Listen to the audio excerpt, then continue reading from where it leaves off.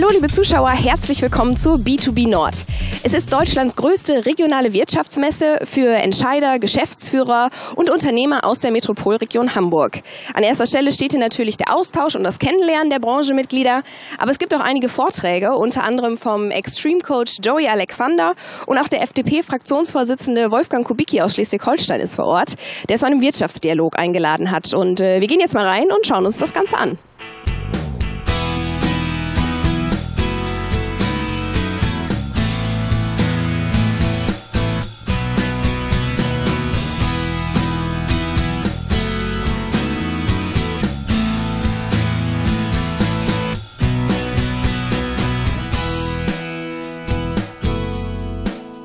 Wir haben 30 Aussteller erwartet, 60 erhofft, 90 erträumt und wir haben 214 Aussteller und mussten fast 40 Unternehmen absagen.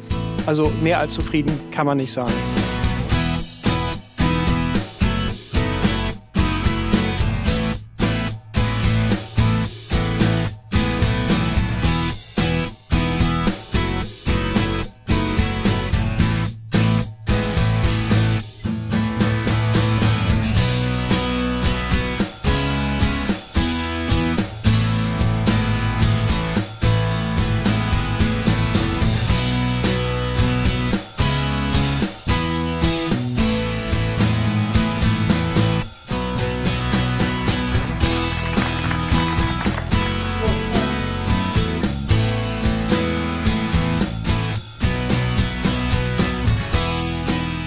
Wir sind zufrieden und es kommt noch mehr.